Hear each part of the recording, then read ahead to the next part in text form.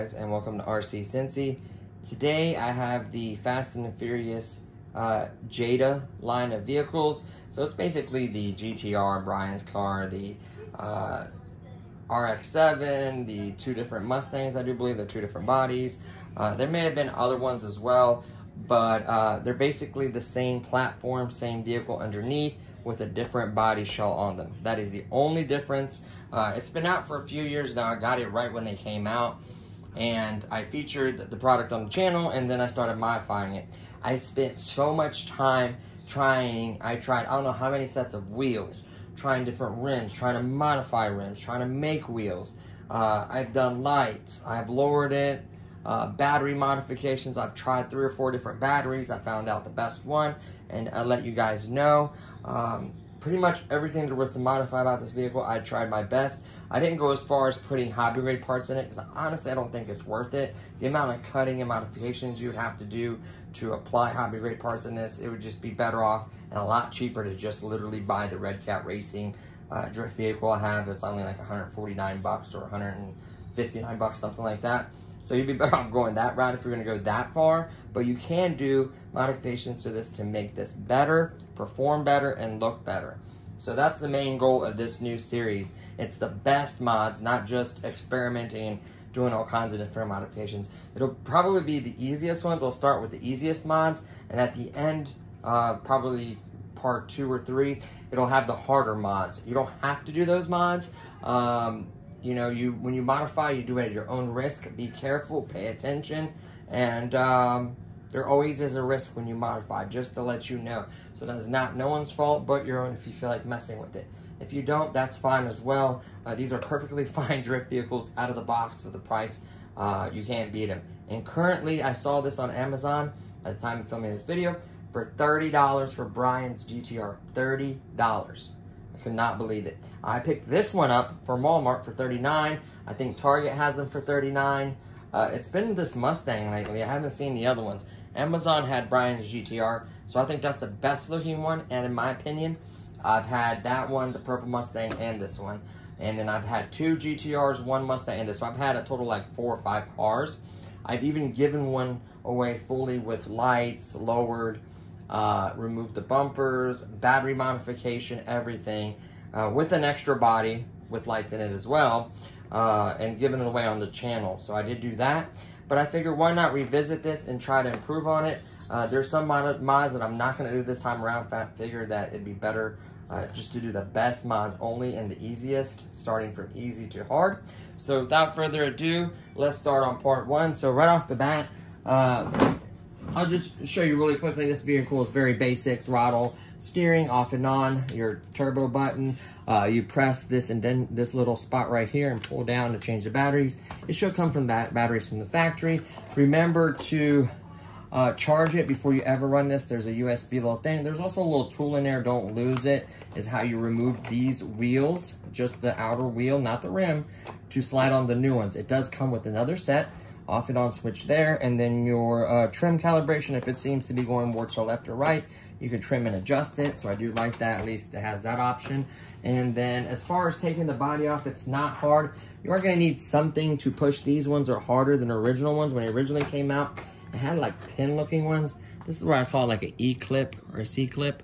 Uh, you just push on the one side, uh, and then pull it all the way out. So they're not too terrible. They are a little tight. They can be a little bit aggravating at times.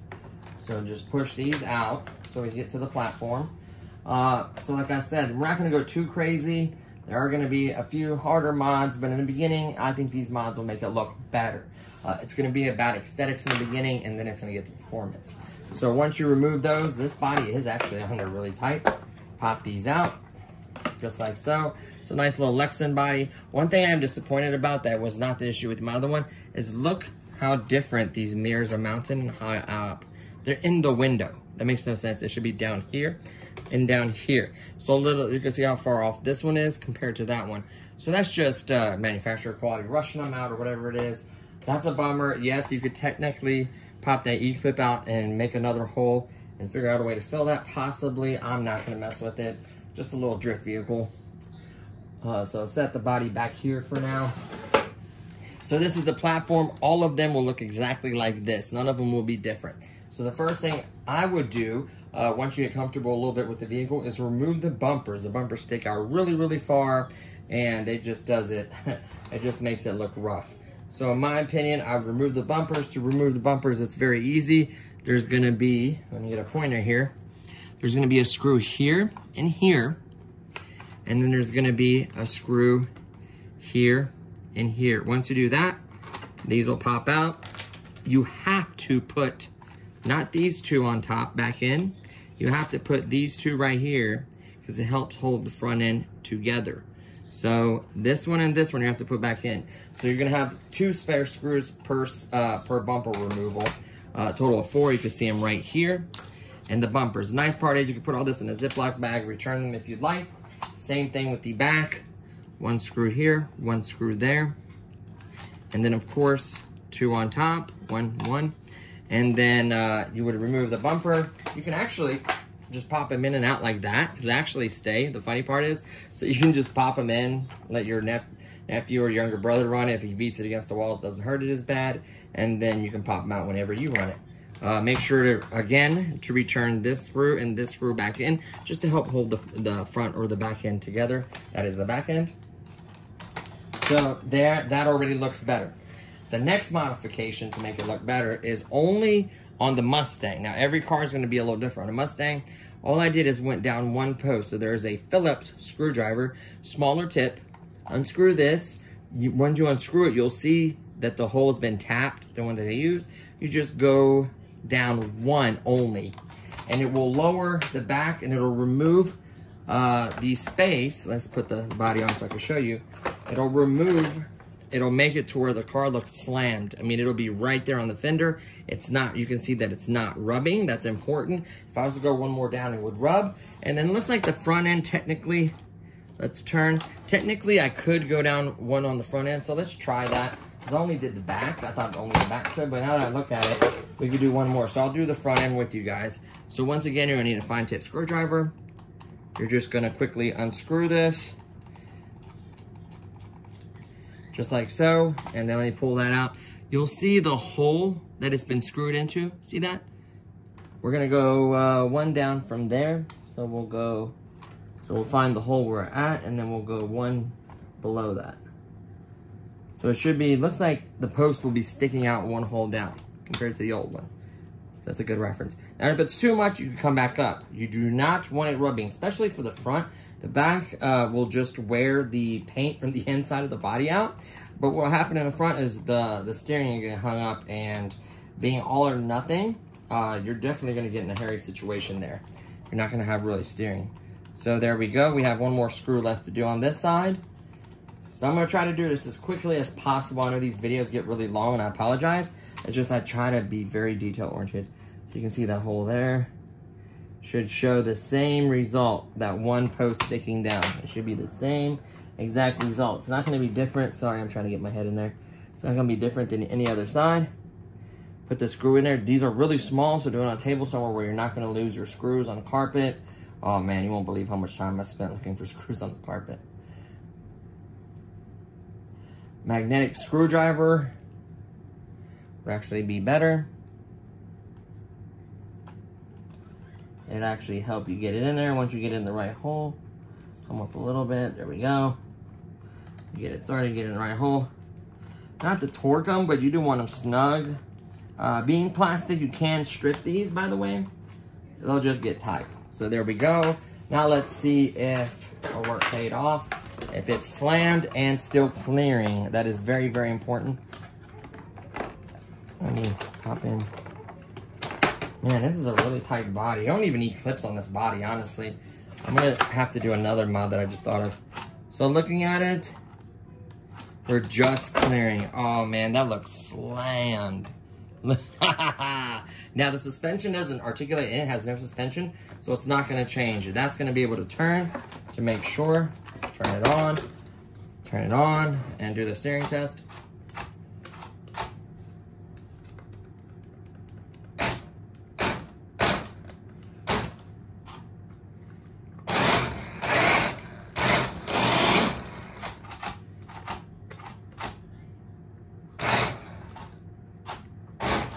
It looks like it's barely, barely, ever so slightly touching when it's max turn.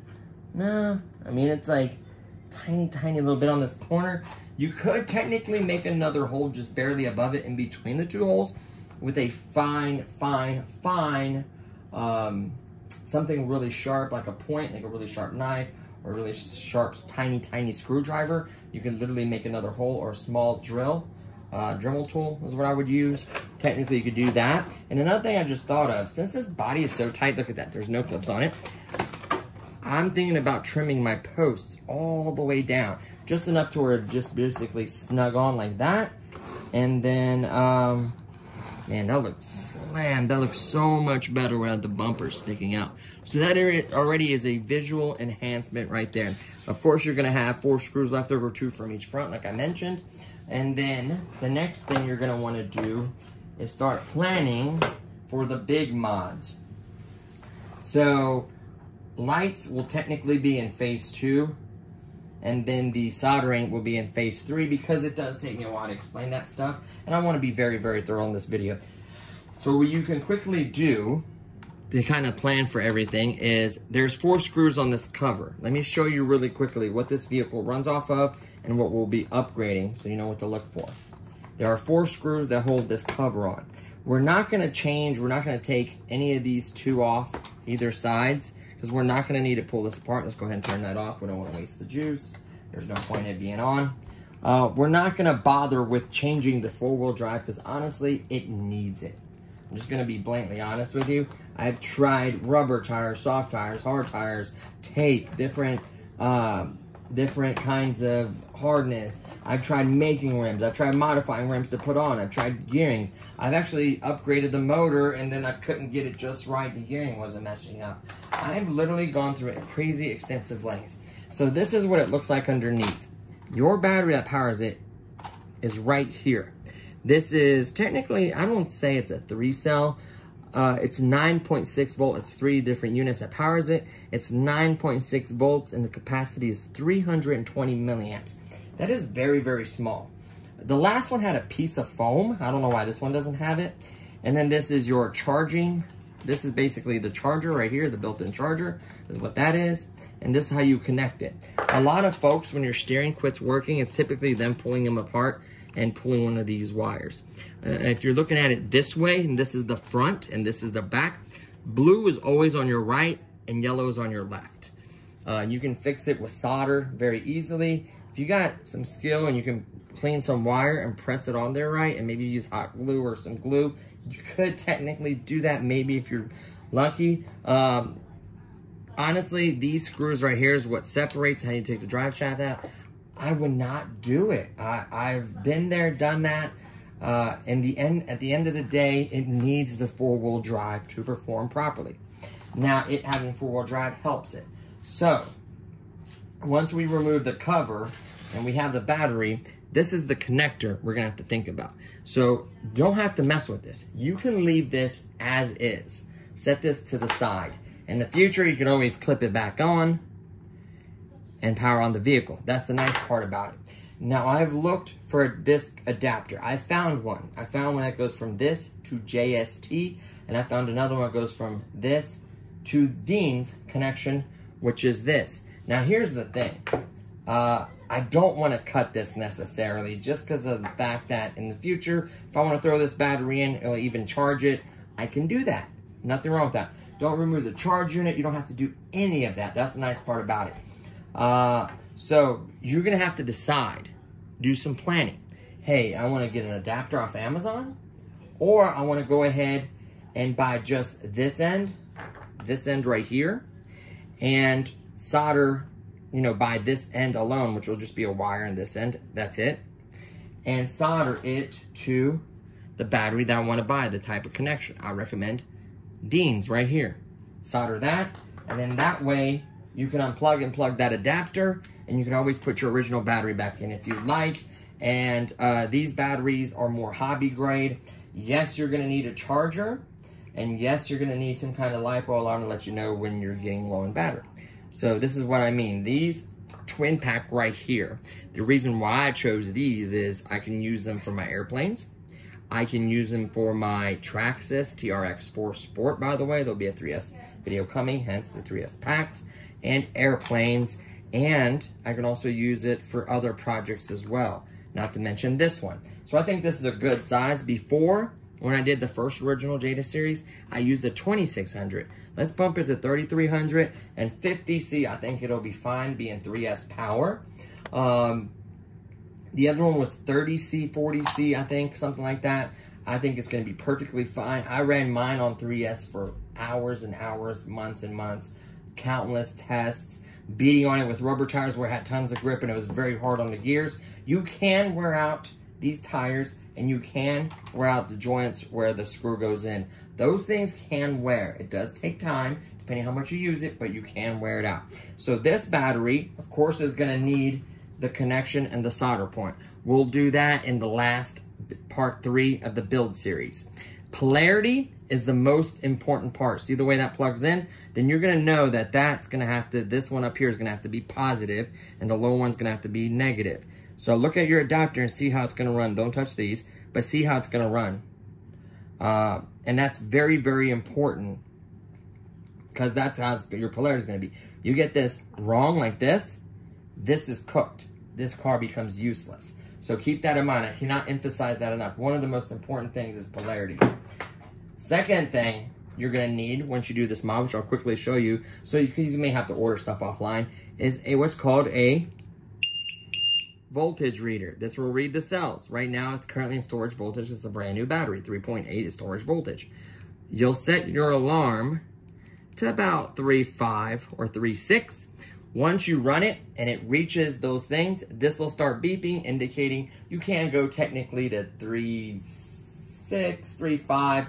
I would never go below 3.6. That's how I maintain my batteries for long periods of time. Technically, when I fly, I go to about between 3, I set it for 3.7. It starts beeping at 3.7, my jets do, and then I land. It gives me a little cushion to land, and the battery will not puff. It won't get out of shape, and it'll last much longer for you. So very important. These, for three of them, I think it's like three or four bucks, a dollar each off of Banggood and other websites. Uh, I'll leave links for them when it's time, or I'll leave links for them in this video as well.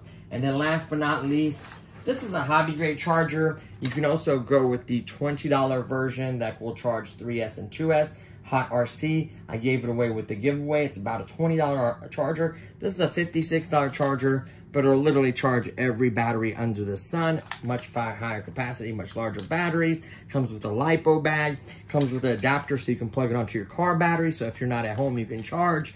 I mean, it does everything. Charges USB, PC connection. It does old school um, um, nickel uh, nickel hydride batteries, night hydrate batteries. So it does it all. Life, you name it, it does it. Ion, you name it.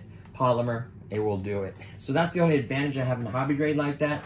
Um, charger. Now I'll get into the soldering with my uh, soldering station once it's time for that part. Um, so that'll be phase three.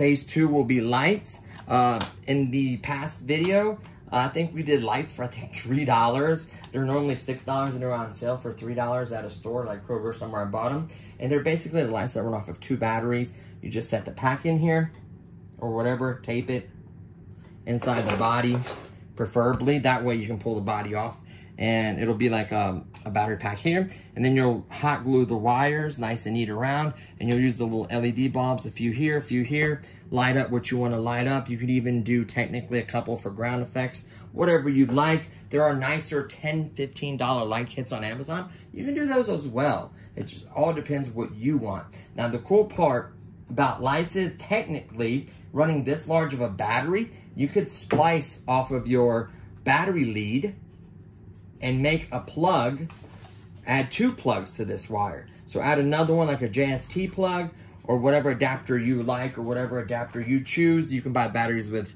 Dean's, uh, EC3, JST, XT30, XT60. Just depends what you want. I have a lot of products that use this, so that's the reason why I went with that. You, um, just to show you real quickly, this is JST. This is XT60 right here. That's uh, This is Dean's with an adapter, obviously. Uh, this is EC, uh, three. So you can go with lots of different connectors. Um, uh, of course, you can just buy a cheap balance lead uh, charger that will just balance charge so you don't have to have nothing fancy like that. So that's the cool part about it. So I think I'm going to be going a little bit fancier. I may get a $10 light kit for it and just splice it and run it off of the main pack. So what I'll do is I'll do a couple, I'll leave this lead on here and I'll splice off of it and I'll do a Dean's and then um, uh, maybe I'll even do three. Maybe I'll do one feed for lights. Maybe I'll do one for battery and then one capability of running off the stock battery. I don't want to eliminate this at this time. This time I want to be able to, hey, if I want to pop this battery and run it factory, so be it. Uh, but I probably will not once you see the performance and how this behaves with this style battery. Uh, you're not going to want to run it on this, I can tell you now. And the runtime, this is 300, this is 3,000, 3,200. So it's literally 10 times larger and a higher discharge and higher quality.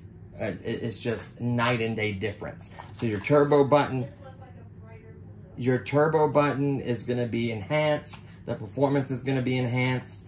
Um, so we have a few options on the light. I'm to decide when it's part two of this video because this video is long enough already. Uh, so I'm to decide that in part two. I think I'm to split something off of here and even do an off and on switch, guys. We can get a cheap off and on switch. I think you get like four or five of them for like six bucks. And we can screw, we can cut a little hole and then do a little off and on switch on the side for the lights. It's limitless. We could do sounds effects um, I really don't want to tear in and try to gear a motor in here and then do proportional steering, tear all this out and do proportional steering. At that point, you're replacing this, you're putting an ESC in there. At that point, just buy a Redcat Racing. But I think uh, the battery and the lights really sets this apart from the others. The performance will be drastic. The looks will look better, missing the bumpers and being slammed with the lights and the performance golden. So there's going to be a three-part series. This is part one. Um, so there you have it.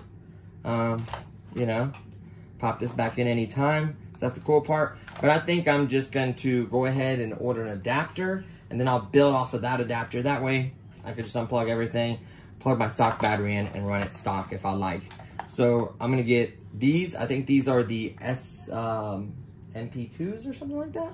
Uh, I'll have a link below. So I think it's going to be the one to the JST, and then I'll just cut the JST off, solder my Deans, connect my battery I want, and when I'm done, I'm going to make a hole through here.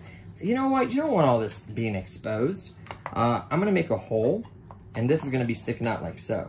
Obviously, when I want, I'll just pull this back in, plug this up, and run on stock battery, or I put it through my hole, and then I'm going to cut a channel. Maybe I'll make a... Um, I'll probably cut a slot into here where I can use like a Velcro battery strap to strap this battery. And then you can slide it forward and back, back uh, adjusting the balance of the vehicle as well. So you can do that as well. So I think that's what I'm gonna do. Uh, this isn't waterproof by any means, but it's a lot nicer to have something covering it. Dirt, dust, whatever gets in there. It'll keep it a lot cleaner.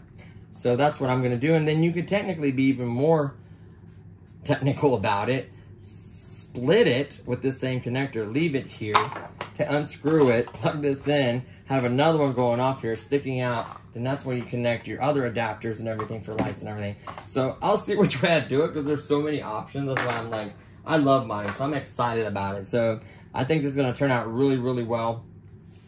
So that's pretty much everything. Now, uh, it depends on the connectors you choose and everything. I think next I'm going to order the lights. So we're going to do, probably to do a $10 light thing. And then we'll also get like the cheap way to do it as well, the five, $6 version. I'll, I'll show you guys how to do that as well. I actually did a whole video on that. It was really long, but watch it. It, it does show you how to do it technically.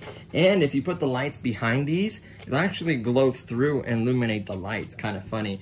Uh, you don't have to really scrape it too much. You can scrape it to where it's clear so the light will be brighter. But if you get a bright enough LED, it'll actually light up this. And I think before the Mustang symbol on the other one was like lighter or white color and it like lit up before. So that was interesting. I didn't mean for that to happen. Or it could have happened to my GTR. I can't remember which one it was, but that was really cool. So I will get um, uh, what else? Yeah, so that's the basics of this video. That's everything I want to cover. Uh, this is just a really cool uh, drifter for 30 bucks. 39 at the most. You should not pay more than 39, period. Walmart, Target, 39. Amazon sale right now, 30. They do have them in clearance all the time, and some stores will have them cheaper. If you find them there, even better, guys. So that's going to do it for this one. This is just part one. So uh, part two, we'll be uh, starting the fitting and setting up lights. And in part three, with soldering gun, the wires and everything, the adapters, and we'll get... Um, the battery hooked up and get it running with performance. Uh, I wish I had a way to touch these leads because I mean the performance is just unreal when you run it um, on those lipo batteries. It's just insane. That's why I was so excited to do it again because I knew how much of a difference. And a lot of folks asked a lot of questions about this.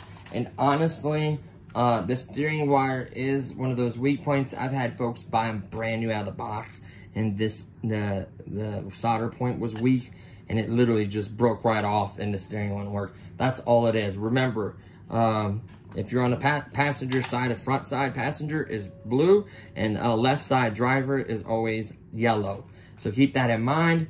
Uh, not very hard solder at all. There's already flux. There's already solder there. If they break off, all you gotta do is basically heat it, put a little flux on your wire, a little solder on your wire, and you're golden. Um, so yeah, you can see the wires for the motor back here. These go to the motor. These two go to the motor.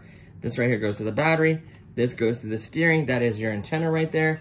And then that set of cables right there goes to your charging, which USB. Now, mind you, cannot charge. If you replace the battery on this, you cannot use the USB charger to charge it. It's not going to work. You're going to start a fire in your house. That's another warning. So when you modify, you have to pay attention to polarity. See how it's red to red? Very important. Uh, so keep that in mind. Uh, I'll also find a link for RC Hot Charger. I'll find a link for these batteries for you, the RC Charger, these beeping things, the lights, and then you're gonna have to provide your own screwdrivers. And I'll maybe find like a cheap soldering gun as well if you want to go that far. Because it's nice to be able to solder to be honest with you. You can do so many more modifications being able to solder. So that's gonna do it for this one guys. Plenty long enough. Said that a few times. Uh, so yeah I'm excited. And uh, I think I'll be getting a pair of snips too. And trimming these posts I think that'll help. Um, man that looks good slammed like that. That looks so much better with the bumpers missing. Look at that I love it. They're good looking vehicles and they do do a great job uh, drifting, honestly. I'll plug my battery back up. I better not try to drift on this table. it wants to spin them, that's for sure. So yeah, and the boost button works great. And I tell you what, even when you change the battery out, the boost button still works. It just gives you that much more power. So, or nitrous button, whatever you want to call it. So there you go, guys. Fast and Furious. I noticed that the trim is a little bit different on the controller since I purchased them. Uh, you still get the extra set of tires. Don't forget that little uh, wheel tool is in there with the charging thing right in here. Uh, you just stick in those two holes and press, and then these wheels will slide out. They will wear with time, but they take a really long time, guys. Just leave them on there. I mean, you have to, like, completely wear them out to change them, in my opinion. Uh, so yeah, there you have it. So thank you so much for watching. Stay tuned for part two and three, and I'll see you guys in the next one. Peace.